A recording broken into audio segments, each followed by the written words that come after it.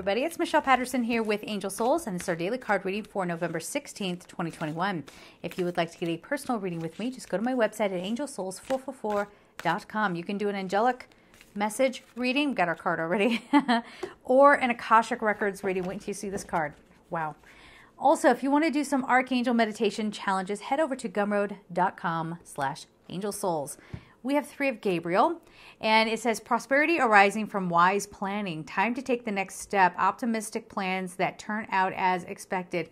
You know what that loop back might be from the weekly message? You're going back and getting an old dream. Something you thought was done. Like, I'm not ever going to do that again. It comes back but it comes back as a giant ship. Okay, that's how I want. I really want to point that out. It's not like just oh your ship is coming in here. It's like huge. Okay, it's um.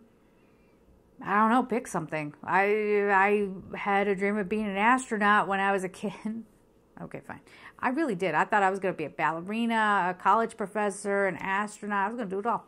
Uh, but oh, and I was going to write books, all kinds of things a cartoonist. I could go on. I, will spare you. All right. So, but this could be one of these things where, um, you know, like let's say you used to sing and you haven't done that in forever. You used to do clubs and sing in clubs or sing with a band. And then all of a sudden, here comes this huge opportunity to get that band back together. I started down the road of the astronaut. It wasn't a good example. So That's why I hopped, in case you're wondering. because I just realized I did that and didn't explain myself.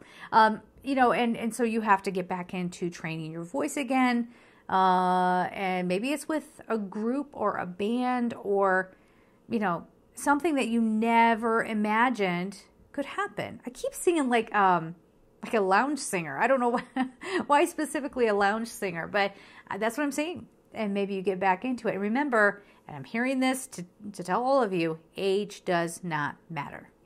Age does not matter. If you're 87 and you say, I haven't been out there, you know, singing in forever, you can do it.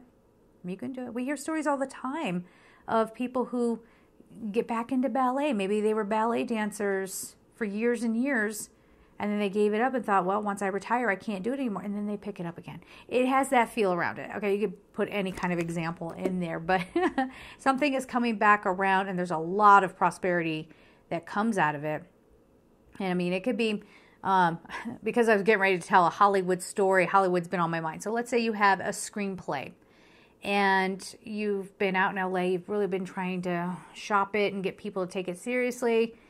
It's hard to get noticed in that you know, in that city. And so you're like, oh, I give up. And then somebody says, hey, do you want to put that into a novel form? Because that would be great as a novel. And so you you there's a lot of work here, and maybe you're not used to writing novels, so you have to adapt to that situation. But it's an opportunity. Have I given enough examples? This is good. this is really good. So we're gonna leave it there for today, guys. I am sending you all so much love, and take care.